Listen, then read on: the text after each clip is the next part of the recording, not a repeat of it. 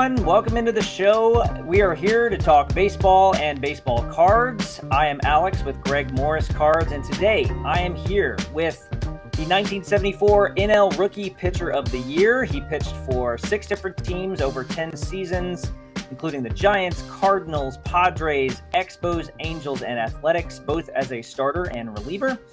He is also a published author and a rather gifted artist. Hopefully, we can talk about that.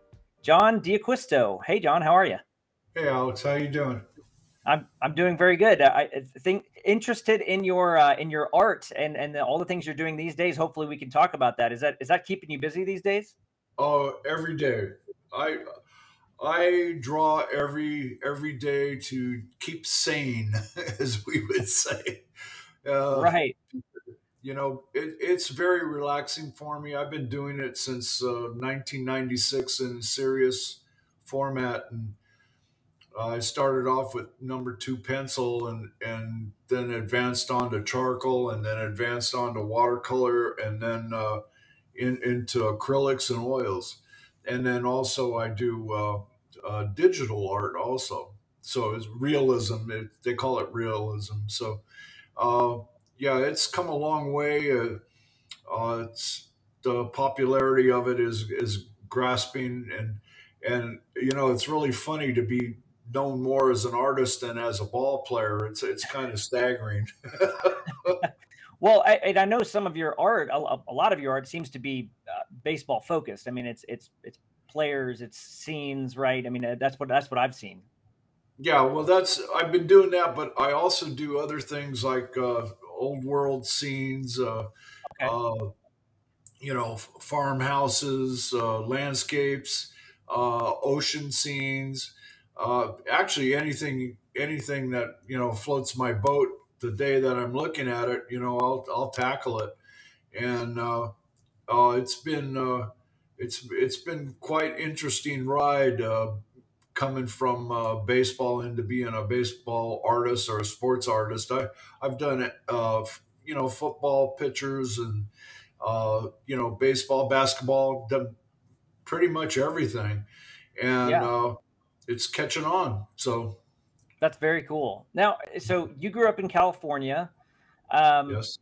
And but how did baseball enter your life as a young kid? Like, was it something that you just watched and, and thought it was was interesting, or did you just start playing it right away, or how how did baseball enter your life?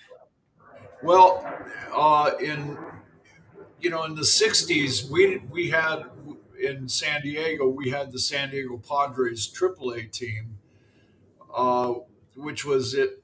It started in Lane Field in actually the 40s, 30s, and 40s, and uh, then uh, Lane Field was torn down and then the Padres moved to Westgate Park in, in Mission Valley in San Diego.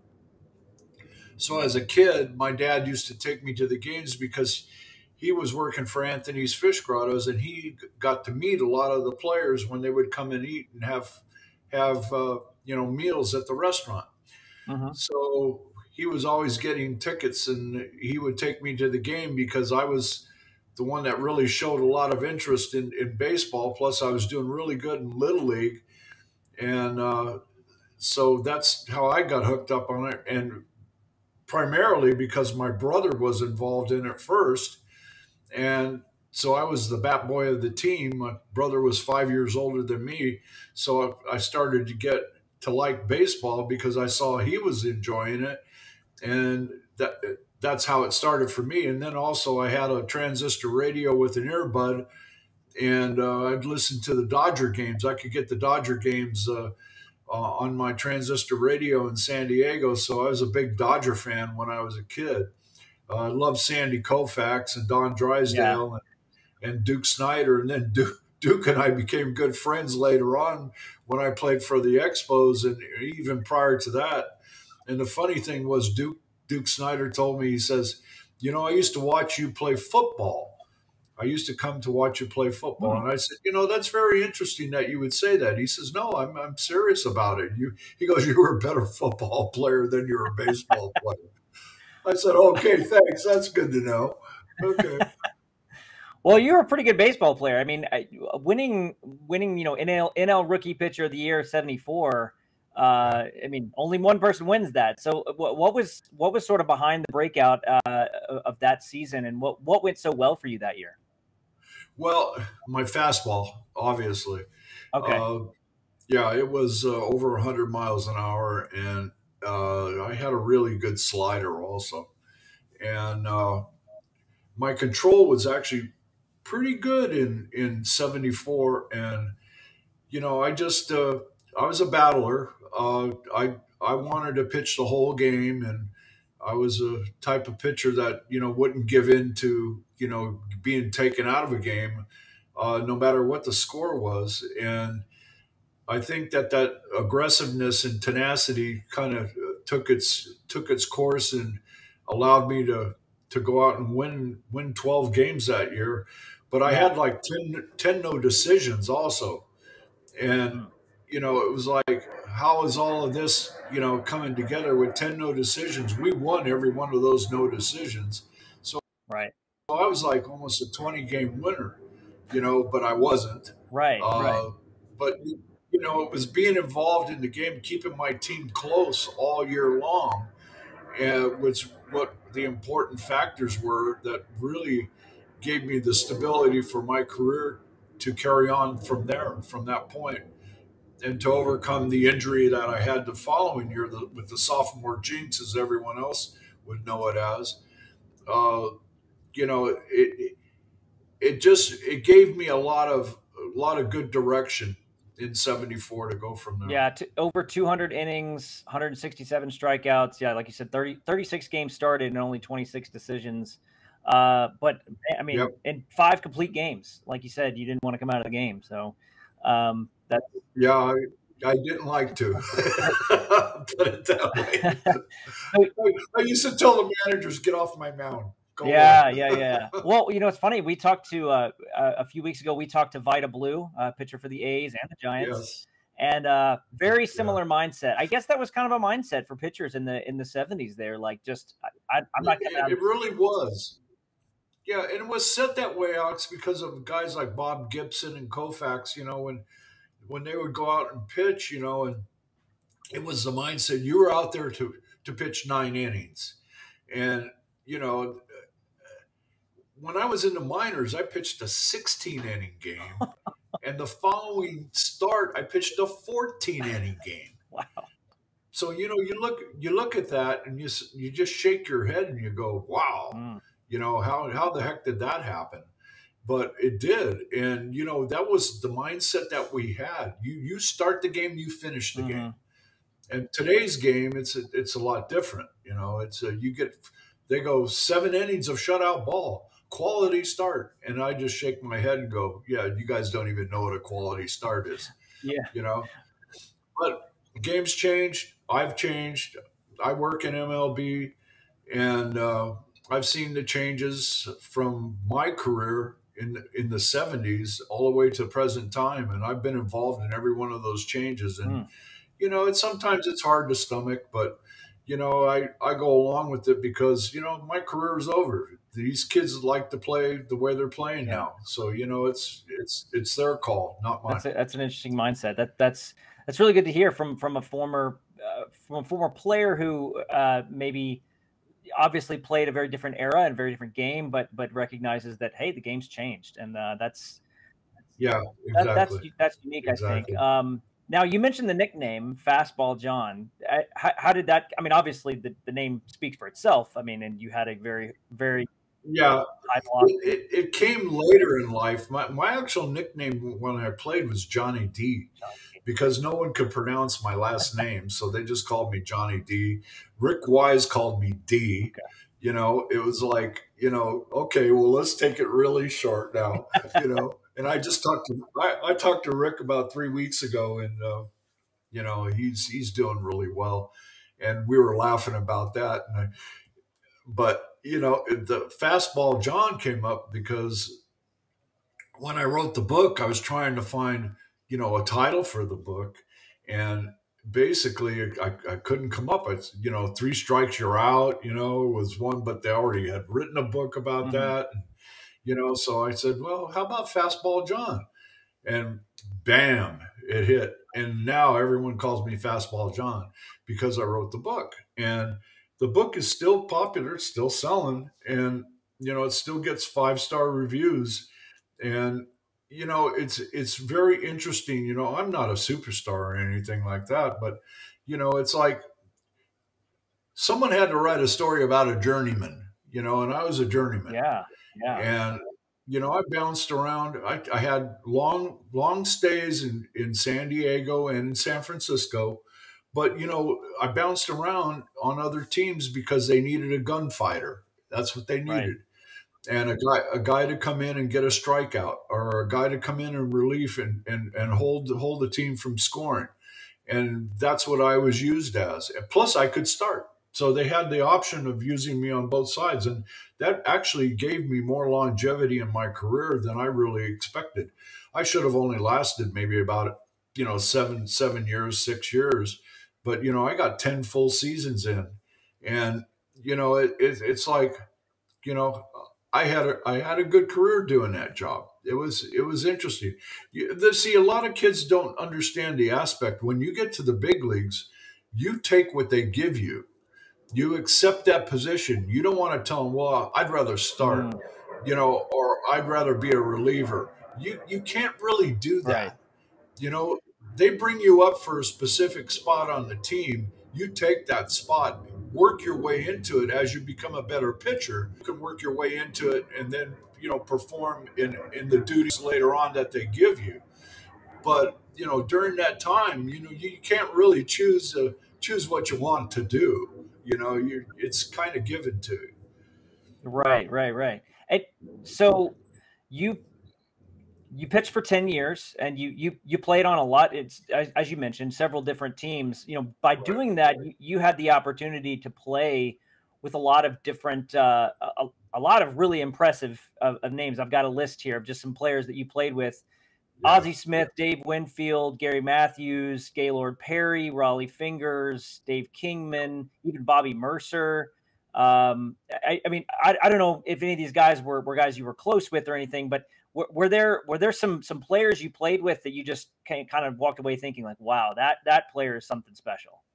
Well, when I first went to my first big league spring training, I lockered next to Willie Mays, and Oh, okay. That, that was shocking. That was shocking. I was I was 19, and I remember walking into the clubhouse, and Mike Murphy, the clubhouse attendant, he uh, he was the manager, assistant manager for Eddie Eddie Logan, and uh, he took me to my locker. He says, "Those two lockers are yours on the far corner."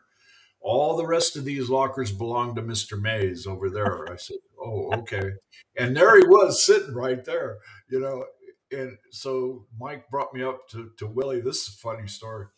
And he goes, uh, hey, hey, Willie, this is uh, John D'Acquisto. He's our number one draft pick. And, uh, you know, he's uh, he's going to be lockering down there. And and uh, just wanted to introduce you. And I said, "Hi, Mr. Mays." Now he's no, no, no, no. You're you're now you're now a giant. You're now my teammate. You call me Willie. And oh, I said, wow. "Yes, sir." I said, "Yes, sir, Mr. Mays." and he goes, he goes, "Oh, I got to see. We got to break you in from that, break you out of that habit." See, he says, "So, do you play golf?" And I said, "Yeah, I play golf." He says, "Well, here's some golf balls." And I said, "Oh, Titleist, my favorite." I opened them up and they had Willie Mays on the ball. Like, I'm really going to play with these, right? Sure. Yeah. Wow. That is that's awesome. Willie Willie Mays custom custom golf balls. Yeah, I know. cool. And you uh, know, it was it's really funny. Is is really funny because he really stuck out in my head because we were 20 years in age difference. Mm-hmm.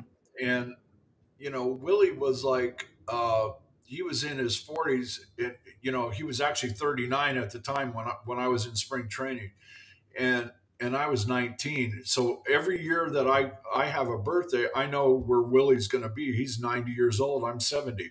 So mm-hmm. we're always 20 years apart. Right. But you know, it, when I wrote the book, Mike Murphy came to me when I was in San Francisco doing my book, book signing. He came up to me. He says, "I need two books. I need one for me and one for Willie." I said, "Which which Willie?" Willie McCovey or Willie Mays? He goes, Willie Mays, sign your book for Willie Mays. Wow. And I went, whoa, that's a switch. You know, and that really kind of stunned me right there that, wow, this is interesting.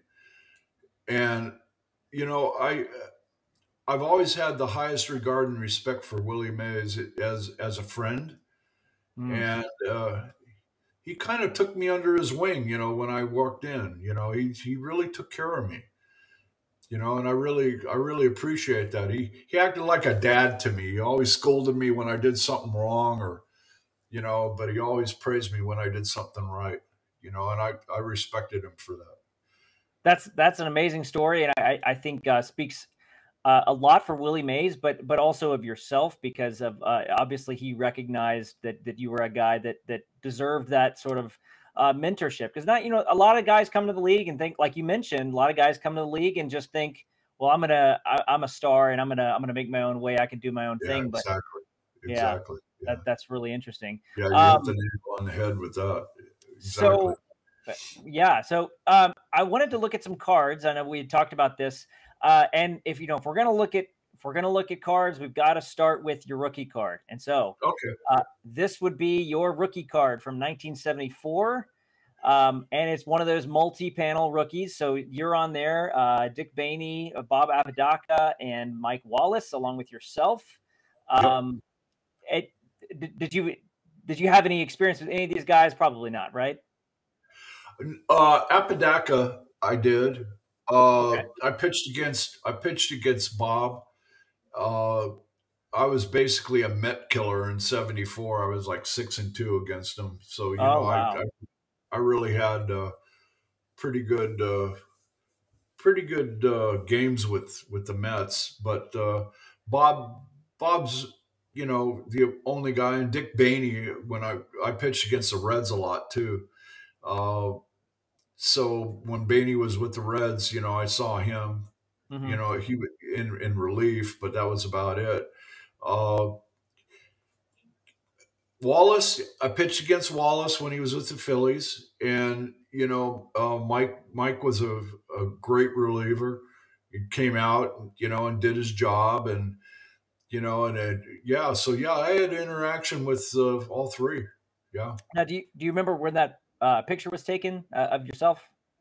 Or actually, uh, I think it was taken in when I showed up. Most of the pictures were taken in Chicago, if I recall. Uh, they were always you know, always catching us when we came out of the dugout. They would always take headshots, or mm-hmm. you, you'd always see in the background, you would see Wrigley Field or you would see in New York, you would have, you know, most of the card pitchers, we had our road unis on.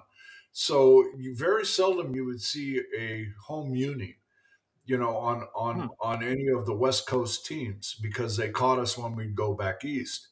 Yeah. So you see Shea Stadium in the background, or if you played in the American League, you would see Yankee Stadium, or right. you know, or if you went to Chicago, you see White Sox, you know, at Comiskey Park or Wrigley Field.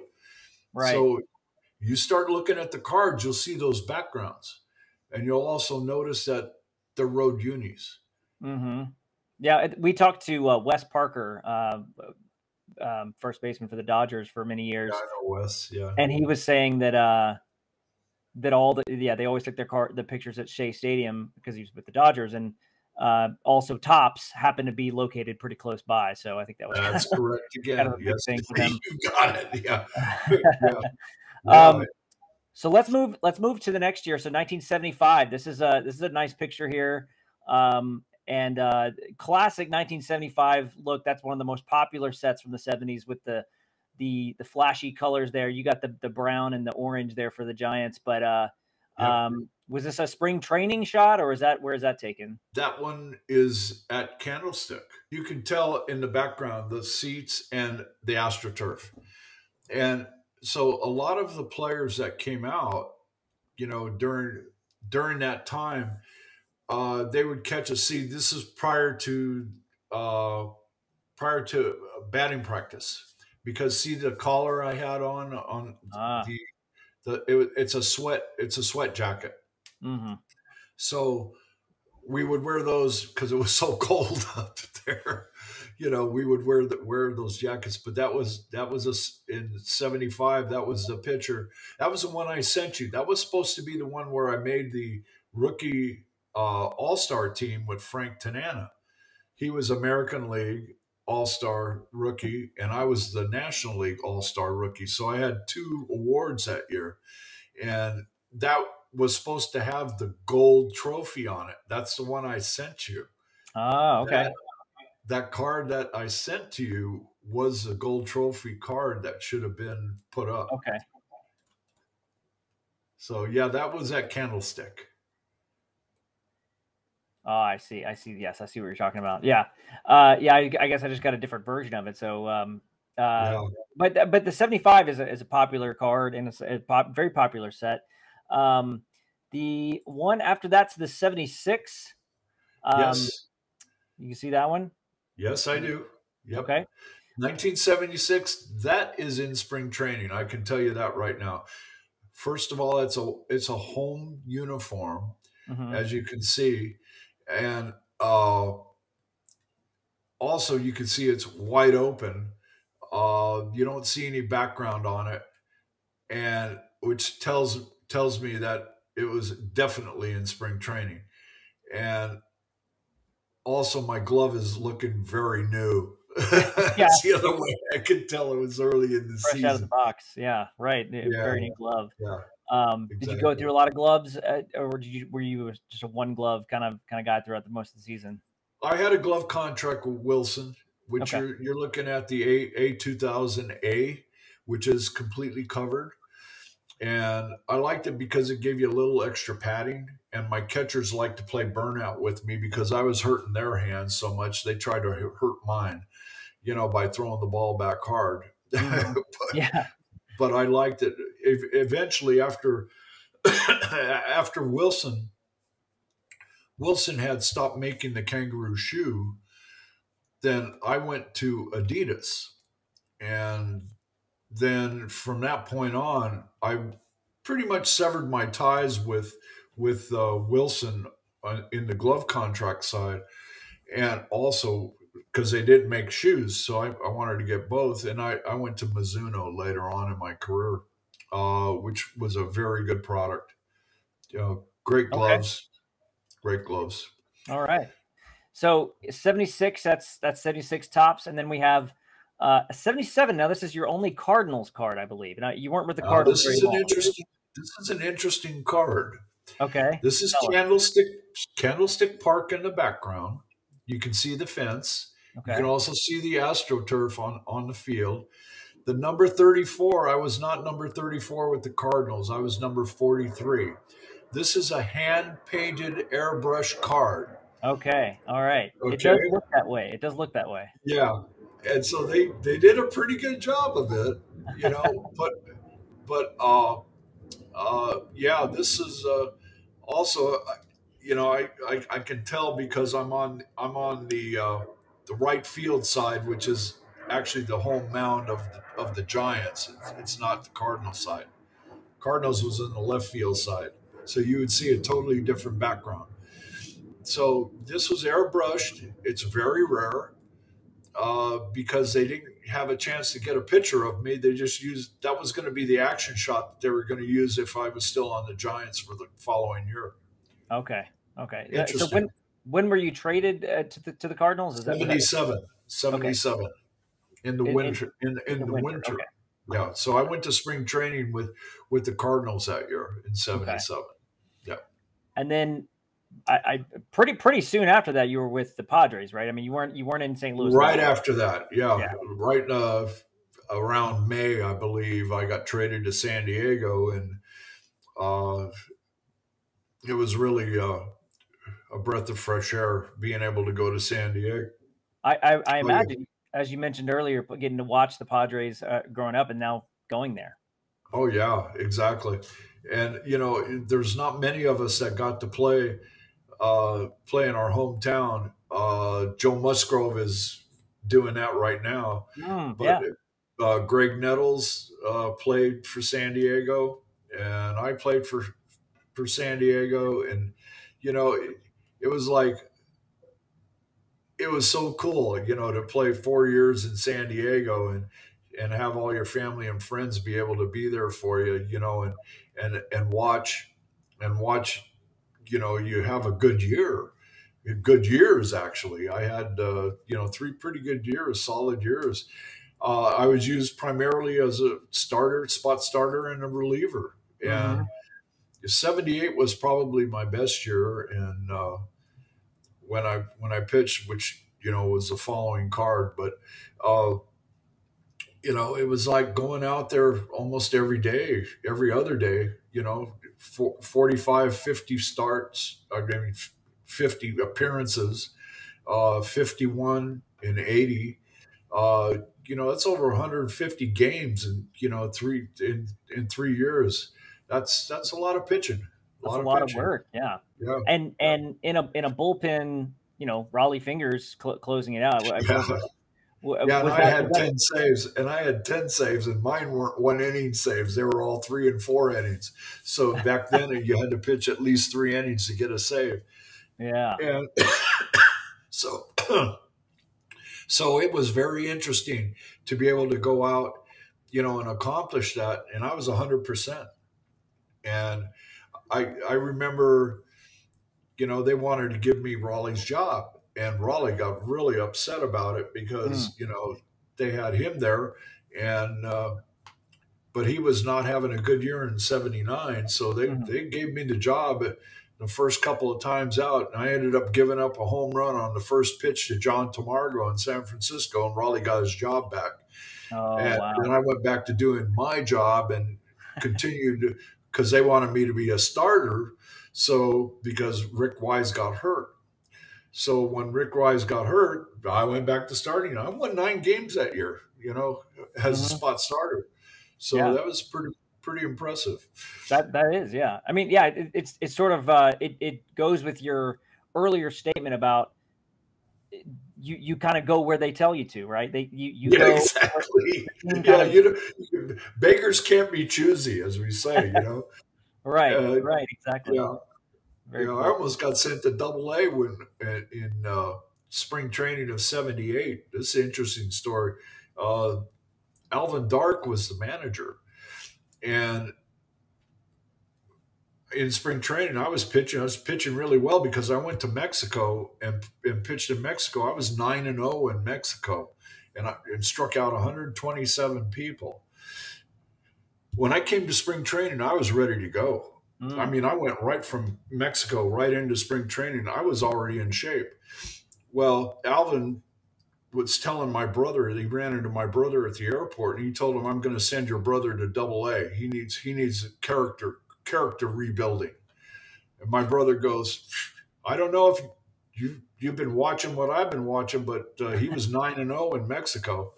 I, I, think he's got enough character built right there. So all that was going on. I'm in spring training, and Gaylord goes, I don't know, John. Looks like you're going to get sent down.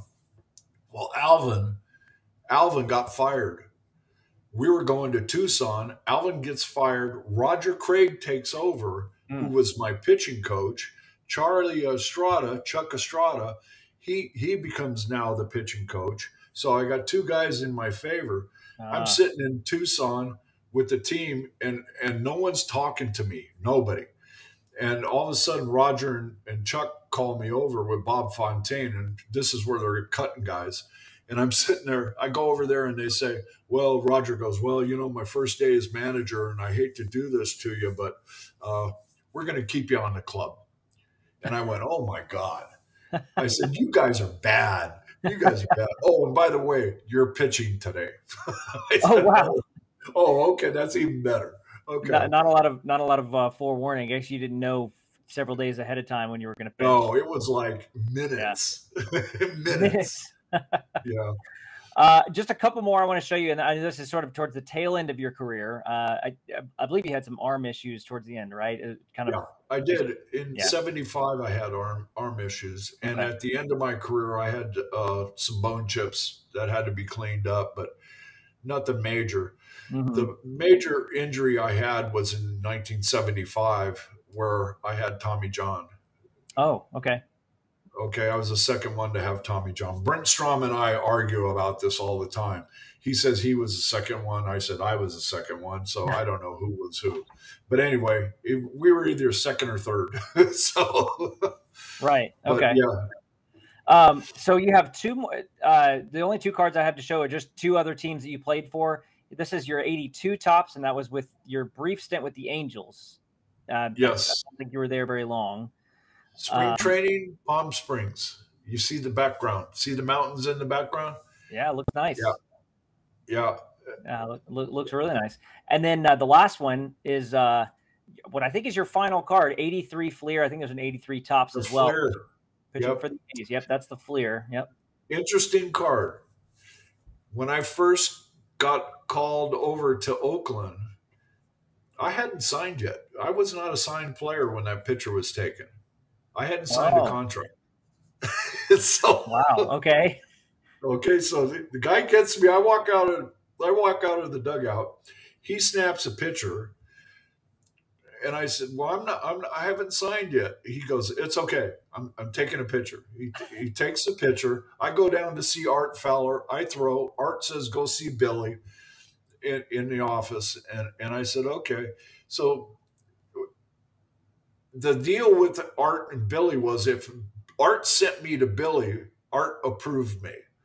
Okay. Mm-hmm. So I, I, threw pretty good and Art approved me and Billy then signed me. I signed my contract. They picked up my whole contract. So they picked up a lot of money. And uh, I, I stayed with Oakland. Then when Billy left, I, I, I was, I was along with Billy when Billy left. So uh, yeah, so okay. they didn't want me around. that, was, that, was, that was Billy Martin's last year in Oakland. This the, the same yeah. your your year. Okay. Yeah, eighty two, and then then I went over to the, I went over to the White Sox, but I played in Denver, you know, and then mm-hmm. uh, they were going to bring me up at the end of the year, and uh, uh, that never came to fruition. So yeah. Uh, really interesting information. A lot of great stories there. I, I just wanted to ask you one final thing uh, before sure. we before we conclude here. Um, yeah. What was so? Was there a singular moment in your career that you just will remember forever? I, I, it might be the Billy Mays one. I mean, that, for me, that would be amazing. But yeah, what, what would be the, the, the singular moment that like you will always remember this one moment of your career and and you'll you'll never forget it? It was just such a powerful moment for you. Well, I would say when I broke the rookie strikeout record in San Francisco, uh, it was against the Cardinals. How ironic, you know, it was against the uh, the Cardinals. Uh, I remember everyone was standing up and applauding, and I'm going, "What's going on?" I turned around at the scoreboard and it says that I just broke the rookie strikeout record that was established in 1906 by Christy Mathewson. Wow! And I went, "Whoa, okay."